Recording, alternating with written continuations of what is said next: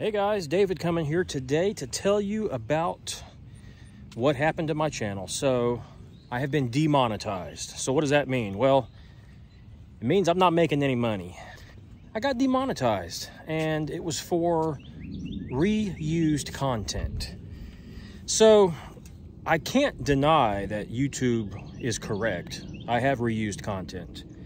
And according to their policies, you can use or reuse other people's content as long as you change it up and make it yours. Narrate it, significantly make changes, and I didn't do that. So in the earlier days of my channel, yeah, I was kind of lazy. I reused content, stuff that people were looking for, and it brought people to my channel, and I, it brought me subscribers, and it got me a lot of views. A lot of channels do this. And the thing is, it went on for quite a while. I mean, some of these videos were getting, I mean, just, I had one video that had like 600,000 views. But I get it, and I will abide by their policy.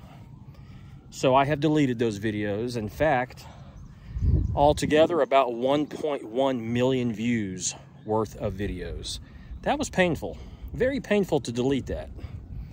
So they have been deleted. YouTube's policy is when you get demonetized, you have 30 days to fix the problem and then you can reapply. So I've got just a few more days left and I will be reapplying for monetization. Now, I've cleaned up the channel. All the reused content is gone, so I should be good, right? We'll see. I'm gonna actually continue this video once I reapply and get the results back. So stay tuned as this video is not over yet. Well, it's been 30 days now. I'm eligible to reapply for monetization. So I'm in YouTube Studio and I'm going to go click on Earn over on the left side of the screen. And then that's where it shows you the monetization status of your page. And as you can see, I am not eligible due to reused content. So basically, here's the things you're supposed to do. And you know, just kind of outlines all of that. And then, of course, here's the things you're not supposed to do.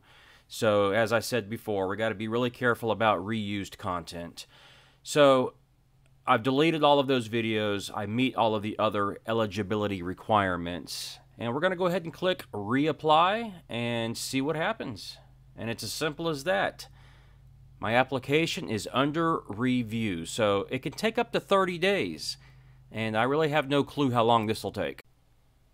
To my surprise, 12 hours later, I get this email that I have been accepted into the YouTube Partner Program again. So that was pretty quick, other than the 30 day waiting period.